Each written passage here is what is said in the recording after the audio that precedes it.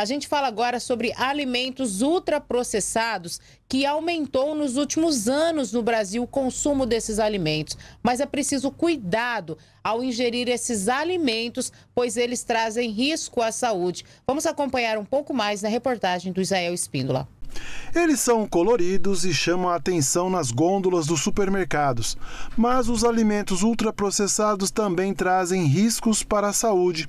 Biscoitos, salgadinhos, embutidos e enlatados, os ultraprocessados dizem respeito ao nível de industrialização e seus níveis de açúcar, gorduras e outros elementos. Além disso, estão diretamente ligados à praticidade do preparo, e esse é um dos motivos do seu grande índice de popularidade, como explica a nutricionista esportiva Juliana Prado Moreira. Alimentos ultraprocessados são aqueles alimentos que é, sofrem algum processo industrial. É, geralmente estão adicionados alguns aditivos alimentares para manter por mais tempo no mercado.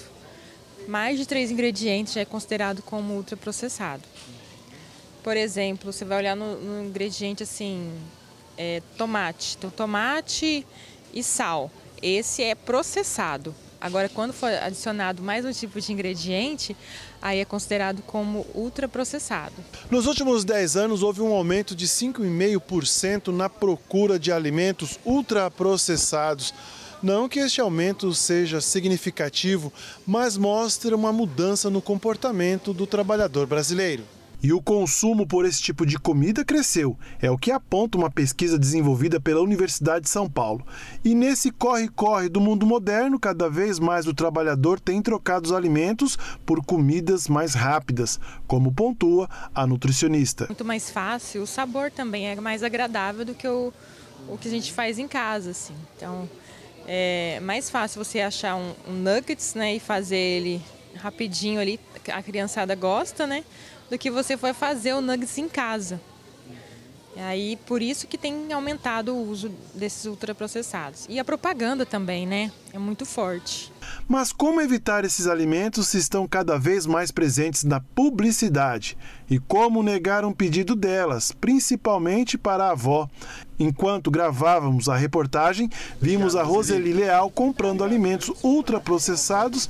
Adivinha para quem? É para as netas para as netas. Ei, vó, as crianças comem bastante comida ultraprocessada? Não, de vez em quando só. E são as crianças que acabam sofrendo as consequências desse tipo de alimentação.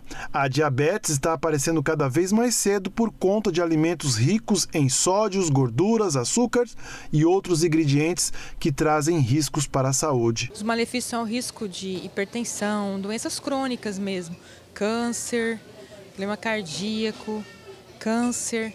Quanto menos ultraprocessado você usar na alimentação, a sua saúde vai, vai ser melhor. Parar de comer é quase impossível, mas evitar já é o primeiro passo. E quanto mais natural for a alimentação, é melhor, como destaca a nutricionista. Olhar os rótulos dos, dos, dos alimentos. Quanto me, menos embalagem você tiver, é melhor. Então, se for fazer, por exemplo, a batata, é melhor você fazer uma batata em casa, cortar a batata e fazer ela assada, tipo frita, né? Do que você comprar ela já pré-preparada, que ela já vai ter até óleo vegetal no meio. Aí já deixa de ser um alimento natural. Então é melhor sempre que se puder fazer em casa, deixar mais organizadinho, é, se organizar durante a semana vai ajudar bastante na saúde.